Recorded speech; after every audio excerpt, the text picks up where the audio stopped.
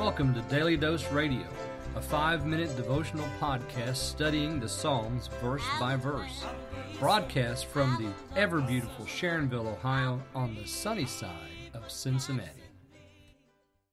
Hey there, friends. Welcome back to Daily Dose Radio. This is your home for organic Bible study that's fresh and delicious here in the Bible Bistro. This week, we're looking at the first section in Psalm 119, that is the Aleph section, the first eight verses. And we're going to do, we're going to read today verse 8.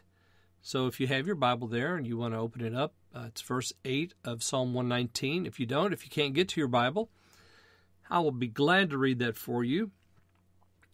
It's just one little couplet I will keep thy statutes, O forsake me not utterly.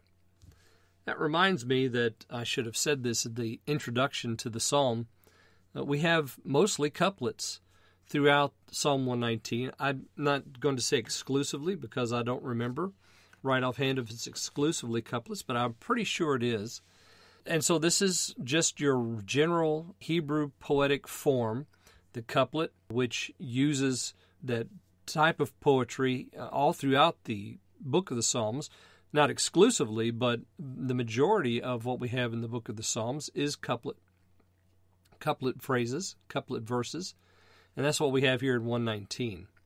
I will keep thy statutes, O forsake me not utterly, is verse 8. And you'll notice how this nicely wraps up the prayer.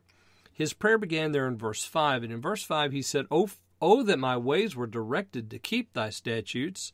And now notice how it ends I will keep thy statutes. Oh, forsake me not utterly. Isn't that beautiful?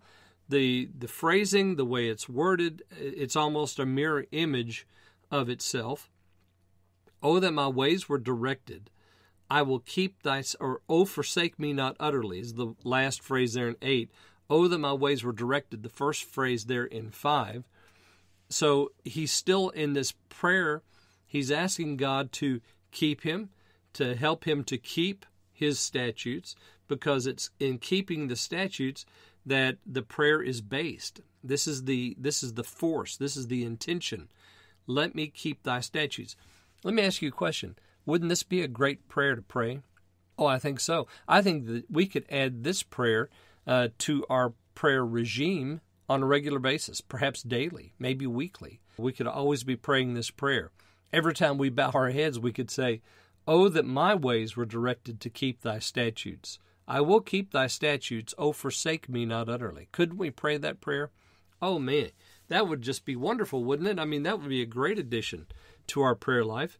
Again, praying the scripture is such a powerful and profound way to pray because we have God's words, we're using them in prayer. And I mean, can you not mean this? Yes, sir, you can mean this. Oh, that my ways, I mean, thump the chest here, my ways Point at yourself. My ways. I will keep your statutes. Oh, that my ways were directed to keep your statutes. And if you say that, then you, you recognize the fact that your ways are not directed to keep his statutes. And what do you need?